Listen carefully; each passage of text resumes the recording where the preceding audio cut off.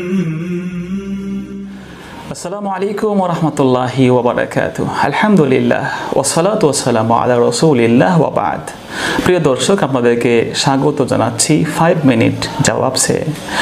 আমাদের কাছে অনেকেই প্রশ্ন করেছেন যে, স্বামী স্ত্রী একে অপরের লজ্জাস্থানের দিকে দৃষ্টিপাত করতে পারবেন কিনা? এবং তার মধ্যে কেউ এই প্রশ্ন করেছেন যে, সেখানে স্পর্শ বা চুম্বন করা যাবে কিনা? প্রিয় দর্শক, ইসলামী শরিয়া প্রতিটি বিষয়ে পঙ্খানুপুঙ্খভাবে আমাদেরকে সমাধান দিয়েছে। ইসলাম কখনো এলেম অর্জনের বিষয়ে লজ্জা অনুভব করেনি। রসুল করিম সাল্লাহ ইসলামের কাছেও সাহাবায়ক নাম এই বিষয়টি প্রশ্ন করেছিলেন। আল্লাহ রাসুল জবাব দিয়েছিলেন এহফাজ আওরাতাকা ইল্লা বিন জাউজাতিকা অর্থাৎ তুমি তোমার লজ্জাস্থানকে ঢেকে রাখো হেফাজত করো তোমার স্ত্রী ছাড়া। অর্থাৎ স্ত্রীর জন্য লজ্জাস্তারের হেফাজতের বিষয় কিন্তু শরিয়াতে নেই। স্বামী স্ত্রী যখন একাকী একান্তে থাকেন সেক্ষেত্রেও দৃষ্টিকে হেফাজতের বিষয় কেউ যদি তার রুচিতে বাঁধে তাহলে তিনি দৃষ্টিপাত করবেন না।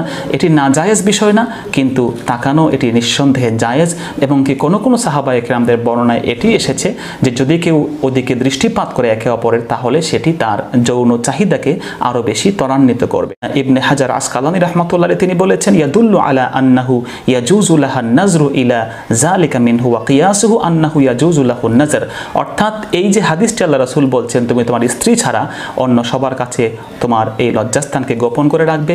এ থেকে বোঝা যায় যে স্বামী স্ত্রী একে অপরের দিকে নজর করা এটি নিষিদ্ধ নয়। আল মুগনিতে বিষয়টি আরও স্পষ্ট করেছেন ইমাম ইবনে কোদামা রাহিমাহুল্লাহ। তিনি বলেছেন ওয়ুবাহুলি কুল্লি ওয়াহিদ মিনা জাউজাইনি আন নাজরু ইলা জামি ইবাদানি সাহিবিহি। অর্থাৎ স্বামী স্ত্রী একে অপরের লজ্জাস্থান, এমনকি পুরো বডির দিকে তাকানো, এটি তাদের জন্য নিষেধ। না, শুধু এমনটাই না ওয়াল্লাম সুহু এমনকি যদি সে স্পর্শ করে, হাত্তাল ফার্জ এমনকি স্বামী স্ত্রী একে অপরের লজ্জাস্থানে স্পর্শ করা, সেটিও নিষেধ না। তো এই বিষয়গুলো থেকে আমরা খেয়াল করতে পারি, লজ্জাস্থান দেখা, পরস্পরের দিকে দৃষ্টিপাত করা নিষেধ না।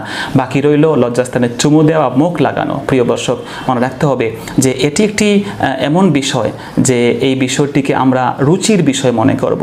সেখানে মুখ লাগানো অনেকগুলো কারণে উচিত না। আর প্রথম কারণ হলো, লজ্জাস্থান থেকে কিন্তু নাপাক কিছু জিনিস বের হয়। যেই বিষয়গুলো বের হয়, সেই নাপাক পানি সেটি মুখে গেলে তা কিন্তু অত্যন্ত খারাপ একটি কাজ হবে এবং বিজ্ঞানও এটিকে কিন্তু সাপোর্ট করে না। দ্বিতীয়ত, মানুষের সবচেয়ে সম্মানিত অঙ্গ হলো চেহারা বা মুখ। সেই সম্মানিত চেহারা বা মুখকে লজ্জাস্থানের কাছে নিয়ে যাওয়া, এটি কিন্তু উচিত হবে না। তৃতীয়ত, মুখ দ্বারা আমরা কিন্তু আল্লাহর কালাম তেলাওয়াত করি।